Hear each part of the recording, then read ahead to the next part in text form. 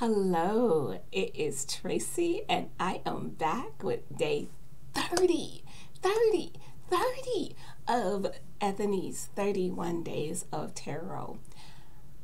I didn't think I would make it, y'all. Really. I really didn't. I knew you would make it, but I didn't think I would. I am surprised that I, I am at day 30. so, the prompt for day 30 is what are my thoughts around tarot becoming mainstream? And my thoughts are the more, the merrier.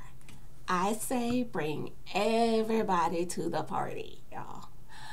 Um, I feel that having tarot more mainstream, the, the, the downside is yes, it it brings more fluff to the market. It brings more people who will just throw together something, call it a tarot, and call it a tarot deck, um, just to make a quick buck, and that's okay. You have that. At the end of the day, things that are built to last will last, and things that are not built to last won't. The fluff will fall out anyway. It's okay. It's perfectly okay.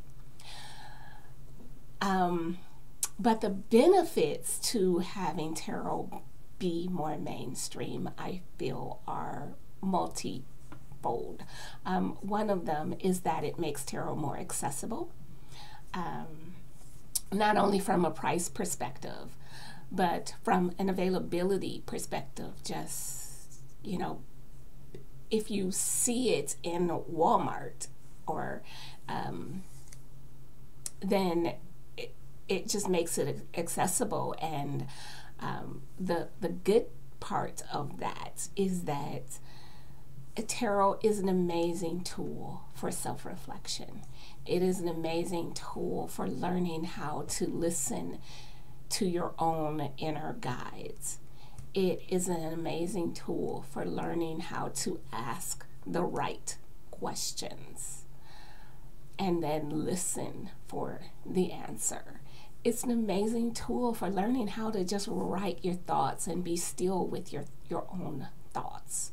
Um, and I feel that the more people in society use these types of self reflection, reflective tools, the better we become as a society. Um, I, I don't see a downside to more people being self reflective. I, I don't see a downside to that. Um, and tarot is a great tool for that. It's it's transportable. You can take it with you. It's somewhat durable.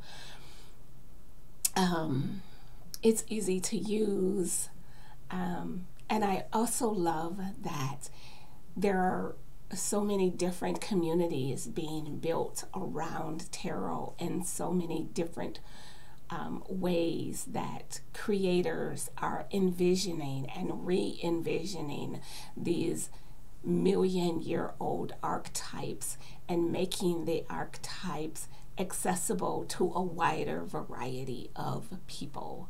And um, and then people are building communities around that. And these are all things that are that are good for us as a society. It just makes us better humans and we need all the better humans we can get. and if tarot decks is a means to get us more better humans, then I say yes. Yes. So that is my take on a tarot becoming mainstream. I would love to hear your thoughts. Um, share them with me in the comments below. In the meantime, I will see you tomorrow for day 31. Woo! We're almost there. Have a great day. Bye.